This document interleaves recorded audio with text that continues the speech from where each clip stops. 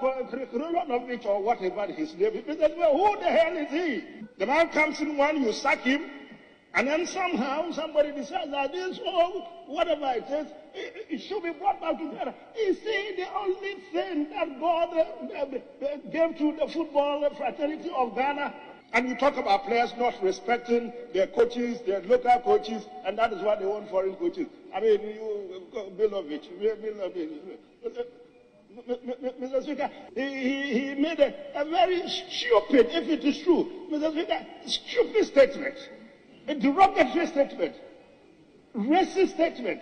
That, well, he had come to make sure that we qualify for the World Cup not the African. Can you imagine? Look at the kind of mentality. Mentality. The man is not, the man is gone loco. He's gone mad. Loco is mad. He's gone off his rocket. Let them get a new coach. If they haven't already sacked him, the sports minister, if he's here, he should be here to be listening to this.